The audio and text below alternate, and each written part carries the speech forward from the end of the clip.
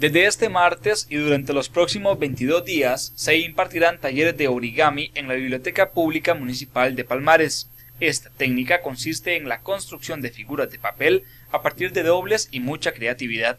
El espacio está dirigido a niños y además es completamente gratuito. Decidimos, ¿verdad?, eh, hacer los talleres de origami, eh, doña Volga, en común acuerdo con doña Volga, eh, talleres de verano porque la biblioteca durante todo el año eh, eh, promueve la lectura en los niños con sus talleres y eh, programas de Soy Bebé y Arcoíris de Lectura. Pero en verano decidimos promover la creatividad, somos un ente de cultura también y promovemos la creatividad con los niños.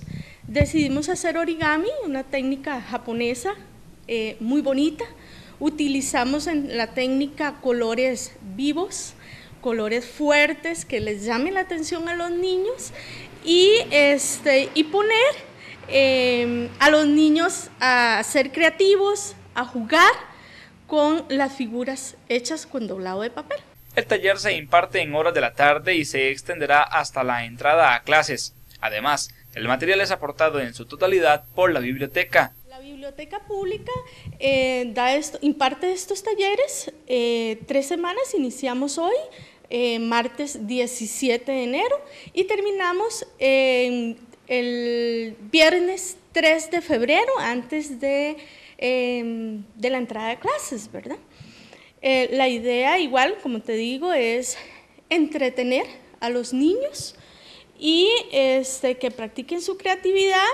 El horario es de 2 a 4 de la tarde. Es con inscripción, ¿verdad? Los materiales, el taller en sí de origami es totalmente gratuito, ¿verdad?